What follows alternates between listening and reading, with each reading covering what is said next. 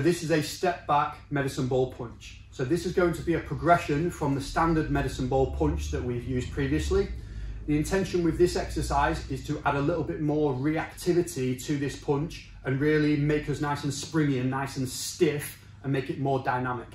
You're still going to use a three, four or five kilo medicine ball, making sure that you are aware whether it's going to bounce back at you and make sure you've got a wall that can take the punch, all right?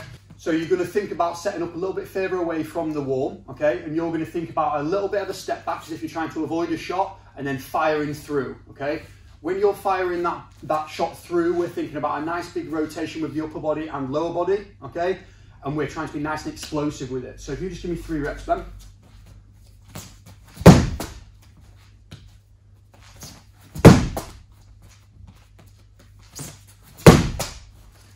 Awesome. So we can see there is what Ben was doing really well is he was thinking about a nice, strong, stiff landing when he jumps back so he can fire that off nice and quick. He wasn't spending too much time loading up that shot to come through. It was stiff, it was reactive, it was really, really quick, okay? So show me two more so they can focus on that bit, so nice and stiff. Here we go, so he's quick off that back foot. Awesome. And that was a step back medicine ball punch.